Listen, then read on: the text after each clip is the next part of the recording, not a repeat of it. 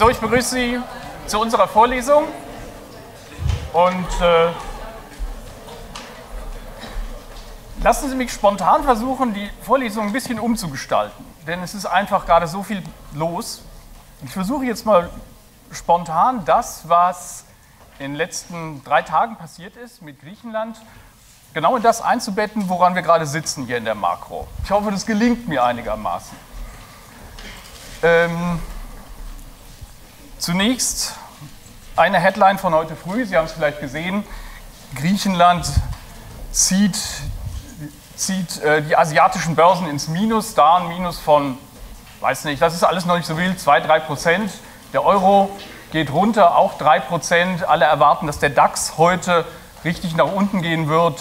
Gut 4 Prozent wird das wahrscheinlich ausmachen. Sie fragen sich, das ist doch Makro und fragen sich gleichzeitig, wie kriegen Sie denn das, was da passiert, jetzt mit dem Vorlesungsstoff irgendwie in den Griff? Also warum sollte diese Tatsache, dass Griechenland jetzt kurz vor dem Default steht,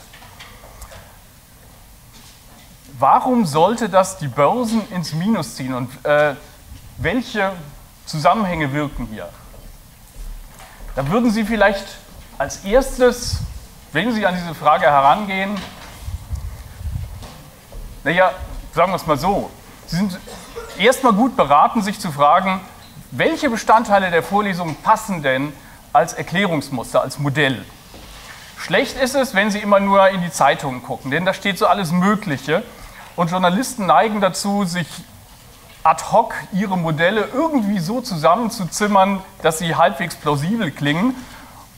Und äh, Meistens tun sie das dann nicht. Eine große Gefahr ist immer, wenn zu viel das Wort Geld fällt.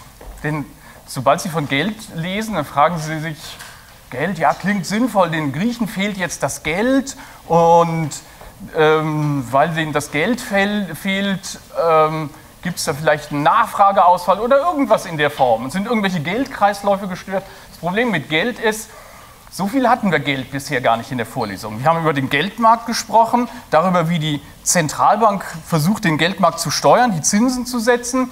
Aber das war es dann auch mit dem Geld. Ansonsten haben wir gesprochen von Nachfrage, von Einkommen. Und das sind auch die wichtigeren Größen. Also lösen Sie sich ein bisschen von dem, was Sie typischerweise in der Tagespresse lesen. Warum könnte das wirken? Da sagen Sie sich einmal,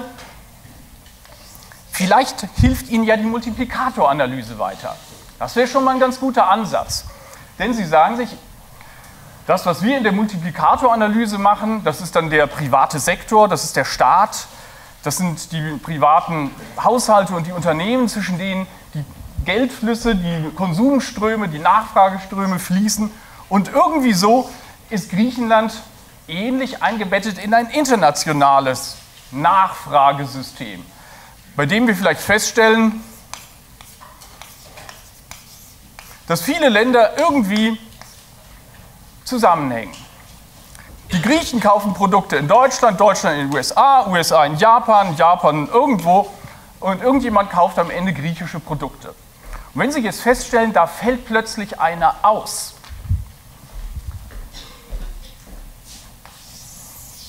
fehlt plötzlich, dann können Sie sich leicht vorstellen, dass das Multiplikatoreffekte auslöst, dass hier irgendwo die Nachfrage fehlt nach Produkten, die wir eigentlich verkaufen wollten und bei denen wir feststellen, jetzt sind unsere Käufer weggebrochen.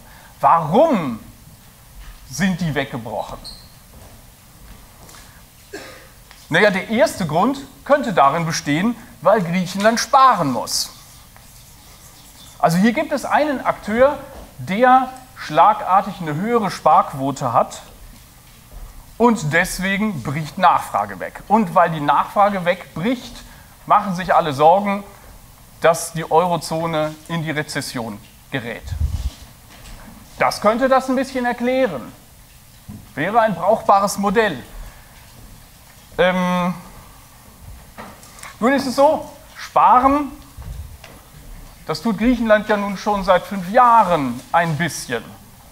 Das verschärft sich jetzt, denn sobald Griechenland abgeschnitten ist von den Hilfsprogrammen, fließen Mittel nicht, die Griechenland auch für Investitionen und auch zur Stützung des Haushalts verwenden könnte. Diese entfallen. Also insoweit könnte sich das Sparen hier in Griechenland verschärfen. Ja, könnte diese Auswirkungen haben. Jetzt gibt es einen zweiten Grund. Nämlich seit heute früh sind die Banken in Griechenland geschlossen für die ganze Woche. Das bedeutet, es gibt keine Barabhebungen mehr, nur noch maximal 60 Euro pro griechischem Staatsbürger dürfen pro Tag abgehoben werden. Also die Bankenschließung bedeutet natürlich nochmal eine Verschärfung. Also viele Zahlungen, die anstehen. Auslandsüberweisungen sind nicht mehr möglich. Da sollen Produkte nach Griechenland verkauft werden, aber die Griechen können das gar nicht mehr bezahlen, weil sie auf diese Zahlungssysteme überhaupt keinen Zugriff mehr haben. Kein Exporteur möchte derzeit Produkte nach Griechenland verkaufen, denn es kann ja gar nicht bezahlt werden. Die einzige Möglichkeit, das zu bezahlen, wäre in Bar. Denn Bargeld gibt es jetzt sehr viel in Griechenland, aber welcher Exporteur kann da schon hinreisen und die Mittel in Bar in Empfang nehmen? Selbst wenn er das darf, darf er sie nicht über die Grenze zurück nach Deutschland verschaffen, denn es herrschen nun Kapitalverkehrskontrollen. Also, wir stellen fest, dadurch verschärft sich natürlich diese Situation, dass ein Land hier aus diesem Multiplikator-Kreislauf wegbricht.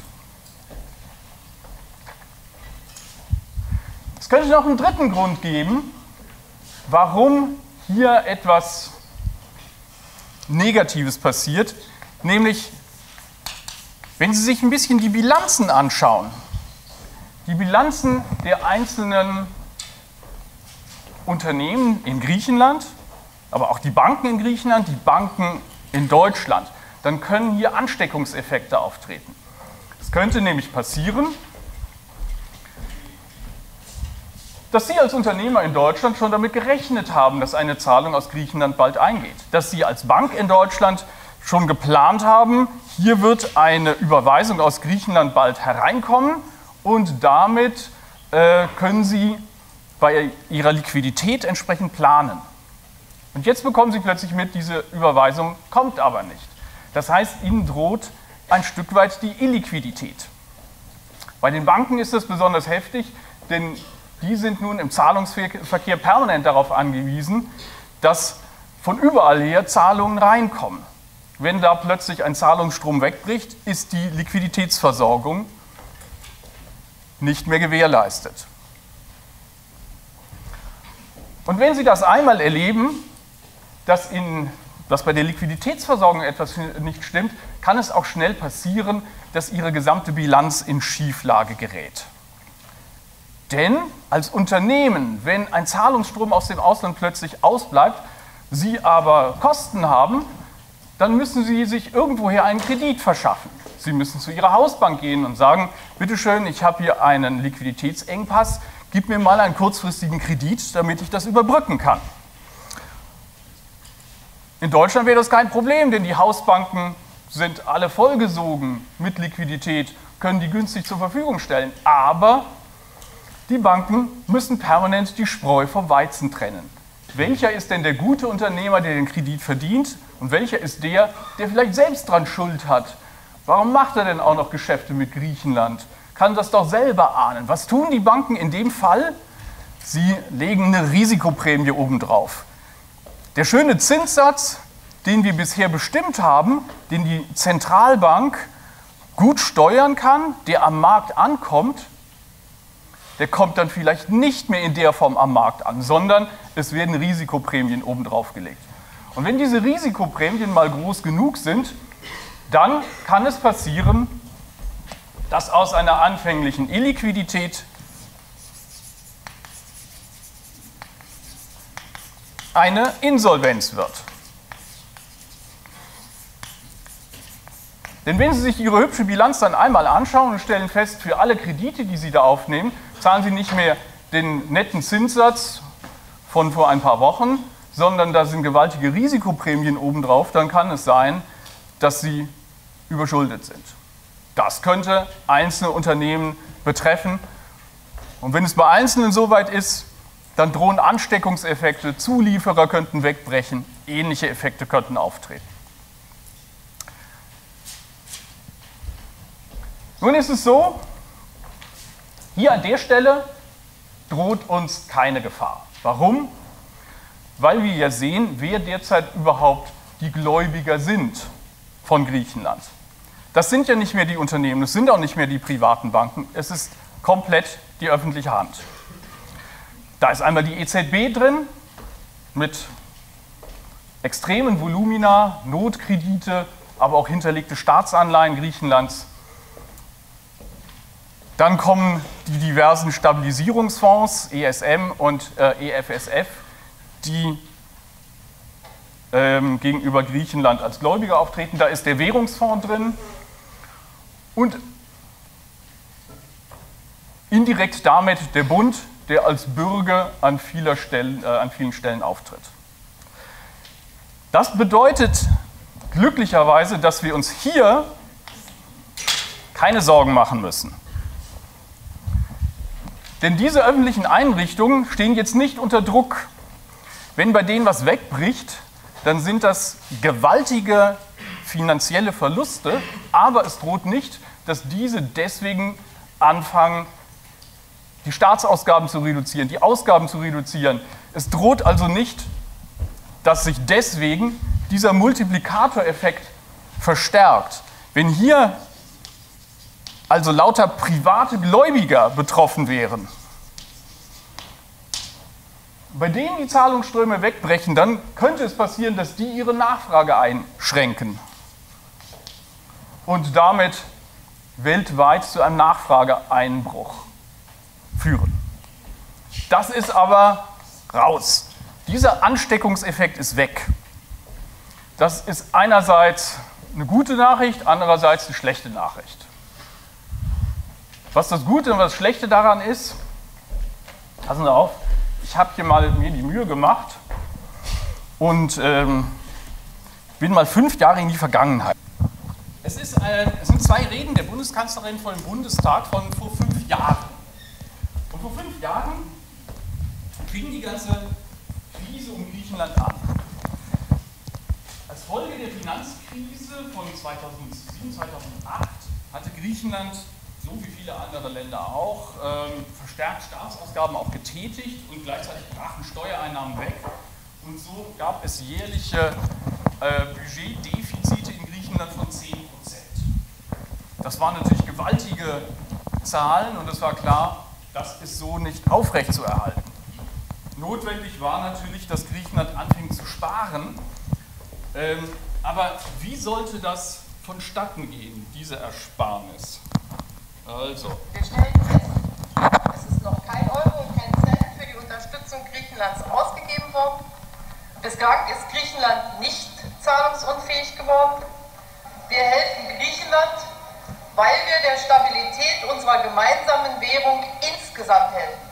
Wir schützen das Geld der Bürgerinnen und Bürger unseres Landes. Es wurden Vorschläge diskutiert, die ich als deutsche Bundeskanzlerin und die die Bundesregierung insgesamt nicht bereit war mitzutragen. Konkret drohte der Weg zu einer Transferunion, in der eine unmittelbare und verbindliche Haftung aller für selbstverantwortete Entscheidungen einzelner Mitgliedstaaten eingeführt worden wäre. Das galt es zu verhindern. Wir stellen fest, es ist noch kein Euro und kein Cent für die Unterstützung Griechenlands ausgegeben. Das, das wiederholt sich jetzt. Also, ähm, versetzen Sie sich so ein bisschen zurück, fünf Jahre zurück. Und äh, was Konsens oder sagen wir mal breiter Konsens war in Deutschland war, wir wollen keine Transferunion. Äh, denn wir wollen nicht, dass dauerhaft Griechenland Staatsausgaben tätigt, die nicht selbst aus dem äh, griechischen Steueraufkommen gedeckt werden, dass dafür deutsche Steuerzahler letztlich in Haftung genommen werden. Nun bestand die Idee also damals darin, nur Kredite zu geben, und die Kredite auch nur dann zu geben, wenn Griechenland sich verpflichtet, einen Sparkurs einzuführen, mit dem sichergestellt wird, dass Griechenland langfristig diese, diese Schulden auch zurückbezahlen kann. Nur dann ist es ja ein Kredit, wenn eine solche Garantie auch vorhanden ist, dass man äh, dass die einmal aufgenommenen Kredite in Zukunft mit Ersparnissen wieder zurückbezahlen kann. Nun wird im Rückblick etwas ganz Fatales passieren, denn wir stellen fest, diese Kredite werden nicht zurückbezahlt werden. Und dass sie nicht zurückbezahlt werden, wissen wir eigentlich schon lange. Denn wenn wir es mal durchrechnen, Griechenland hat eine Verschuldung in Höhe von 180 Prozent des Inlandsprodukts. Und gefordert von den Institutionen von Griechenland war, dass jährliche Primärüberschüsse, also ein Budgetüberschuss, in Höhe von 4,5 Prozent des Inlandsprodukts erwirtschaftet wird. Davon, von diesen 4,5 Prozent, könnten dann entsprechend die Zinsen und Tilgungen der alten Kredite entrichtet werden. Das heißt, 4,5 Prozent jährlich, um die 180 Prozent abzubezahlen. Jetzt hat diese Zahl zwei Probleme. Erstens, sie ist zu niedrig. Denn wenn Sie mit 180 verschuldet sind und zahlen nur 4,5 jedes Jahr, dann werden Sie den Kredit nie abbezahlen können. Sie würden niemals bei der Bank einen Kredit bekommen, bei dem die Annuität so gering ist, dass keine Chance darauf besteht, den Kredit jemals zurückzubezahlen. Das heißt, die Zahl 4,5% ist deutlich zu niedrig. Zweitens, die Zahl ist deutlich zu hoch. Denn Griechenland leidet unter einer Rekordarbeitslosigkeit, 30, 40 Prozent, Jugendarbeitslosigkeit noch höher. Weil Griechenland einen Sparkurs durchführen muss und das Land in die Rezession hineintreibt und damit keine nachhaltigen Zustände mehr herrschen können in dem Land. Also die Zahl ist gleichzeitig zu niedrig und sie ist gleichzeitig zu hoch. Und das bedeutet, Griechenland kann rein logisch diese Schulden niemals zurückbezahlen. Und das ahnen wir eigentlich schon lange, aber wir glaubten daran, an das Versprechen der Bundesregierung, an diesen Plan, es ist keine Transferunion. Deswegen vergeben wir nur Kredite, aber die müssen irgendwann zurückbezahlt werden. Aber letztlich war das keine nachhaltige Politik. Nun haben wir es fünf Jahre lang erlebt, dass wir diese Politik, von der wir wissen, dass sie nicht nachhaltig ist, ähm, immer so in die nächste Verhandlungsrunde hineinretten. Denn eines gilt es zu vermeiden, dass Griechenland tatsächlich einen Zahlungsausfall hat. Was würde dann passieren? Was droht jetzt morgen, wenn Griechenland die 1,6 Milliarden an den Internationalen Währungsfonds nicht überweist? Dann droht, dass Griechenland und griechische Staatsanleihen international im Default sind, dass das festgestellt wird. Und sobald das der Fall ist, sind griechische Staatsanleihen nirgendwo mehr ähm, als Sicherheit hinterlegbar. Alle griechischen Staatsanleihen, die bei der EZB liegen, sind damit, müssen sofort gekündigt werden, denn es sind keine Sicherheiten mehr. Sie sind in dem Sinne wertlos. Das gleiche gilt für die ganzen Notfallkredite, die die griechische Nationalbank an nationale griechische Banken vergeben hat. Auch die müssten sofort gekündigt werden, weil die hinterlegten Sicherheiten keine Sicherheiten mehr sind. Und dann stellen Sie natürlich fest, dann fällt so ein komplettes Land hier aus, es bricht völlig weg.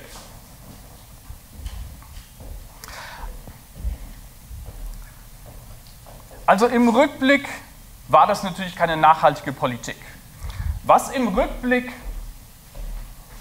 hieran trotzdem wirksam war, das ist, dass dieser Kanal ausfällt.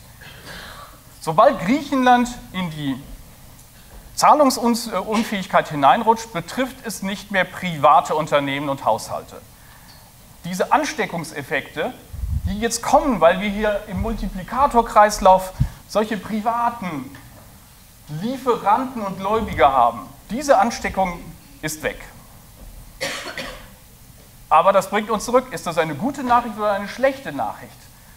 Das können Sie sehen, wie Sie wollen, denn es bedeutet, der Steuerzahler kommt dafür auf. all diejenigen, die vorher griechische Staatsanleihen gekauft haben, die wurden ausgekauft mit Steuermitteln. Das heißt, letztlich kommen diese vielen Stützungsprogramme dem Finanzsektor, den Banken, natürlich auch vielen privaten Investoren zugute, die vorher griechische Staatsanleihen gekauft haben.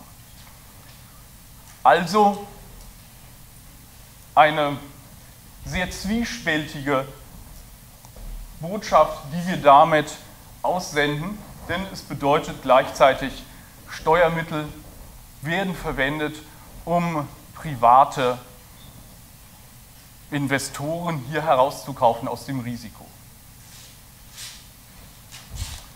Und das war natürlich nicht die Idee, mit der die Bundeskanzlerin angetreten ist. Das Rettungsprogramm sollte Griechenland in einen Sparkurs hineinbringen, der nachhaltig ist, die Kredite sollten zurückbezahlt werden. Das funktioniert nicht.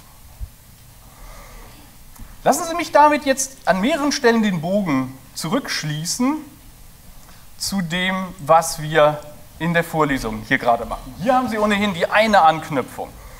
Die zweite Variante, warum die Börsen in Asien ins Minus gehen, betrifft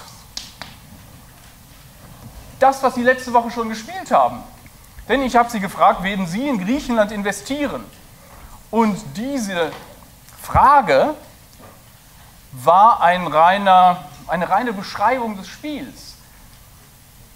Die einen von ihnen konnten in Deutschland investieren, die anderen in Griechenland, aber letztlich wussten sie, sie spielen mit jemandem hier im Hörsaal, mit Griechenland oder Deutschland hat das gar nichts zu tun.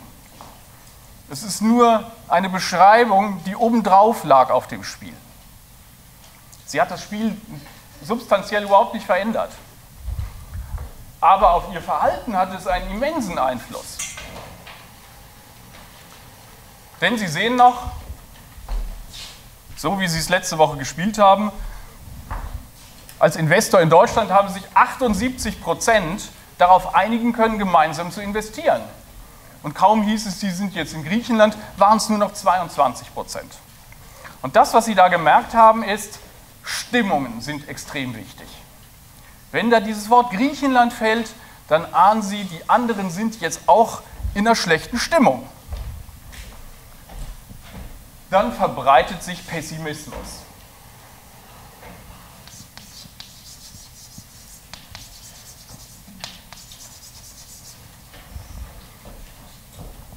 Und das ist ansteckend. Denn wenn der andere pessimistisch sind, dann sind Sie gut beraten, wenn Sie auch pessimistisch sind und auch nicht investieren. Ansteckend heißt, genau das ist das, wonach wir gesucht haben. Was sind die möglichen Ansteckungseffekte, die von Griechenland ausgehen? Und das sind dann nicht nur diese über einen Multiplikatoreffekt, sondern es sind auch rein psychologische. Also mit, mit diesen vier Punkten kriegen Sie die Griechenland-Krise relativ brauchbar interpretiert. Damit will ich nicht behaupten, dass das die einzigen Modellzusammenhänge sind. Denn immer wenn Sie sich der Realität stellen, dann stellen Sie fest, da gibt es noch so viele kleine Dinge, an die Sie zusätzlich denken könnten. Aber es ist gut, erstmal auf einem soliden Fundament zu stehen. Música